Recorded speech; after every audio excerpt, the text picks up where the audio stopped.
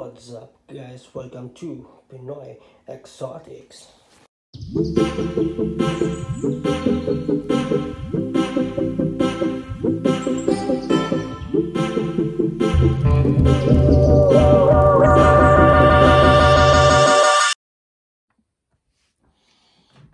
What's up guys? Welcome to Pinoy Exotics. So ngayon meron ulit tayong bagong alaga. Ito ang OBT or Orange Baboon Tarantula.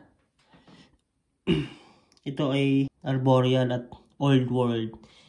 Ibig sabihin, ibig sabihin ng old world, sila yung mga mga, bang, sila yung mga mababangis. so buksan natin.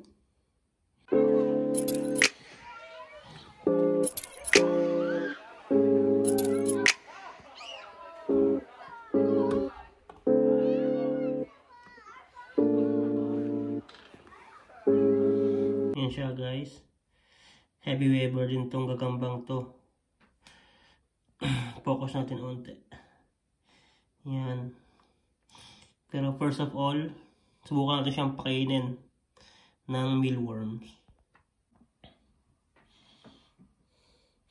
So yun guys, ginawa natin. Nagputol lang tayo ng maliit na mealworm para ipakain sa kanya. Tingnan natin kung kakainin niya.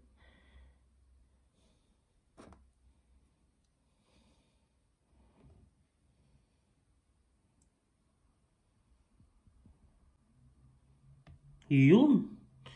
Kinaya.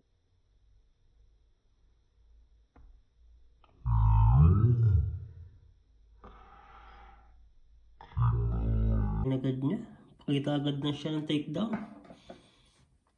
Nagpakita agad siya ng takedown. Yun siya. oh. Angas.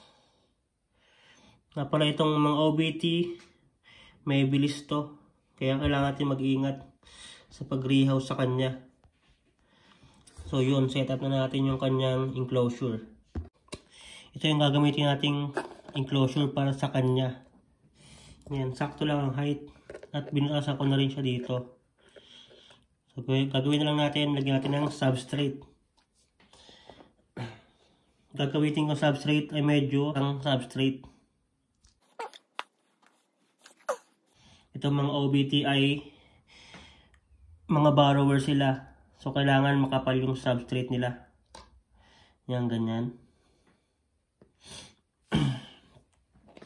Tapos, siksikin lang natin. Yan.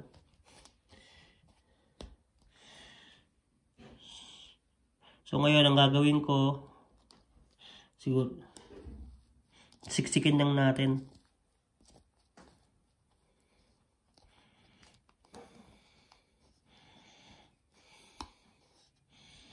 Yan. Tapos lagyan natin ng sphagnum moss. Dito lang, ganyan lang.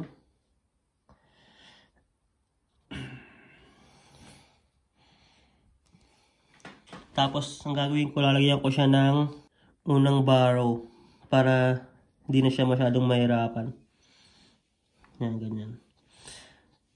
Palibutan lang natin siya ng sphagnum moss. Yan siya. So ngayon, gagawin ko, dalagay lang natin tong enclosure niya sa loob nitong ginawa natin para hindi siya ma-istorbo sa pagkain. Dahil kumakain siya ngayon. So, lalagay natin siya.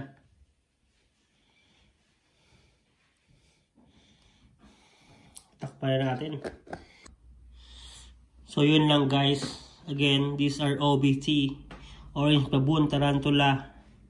Ang ating old world Tarantula. So yun, ganun lang kasimple guys.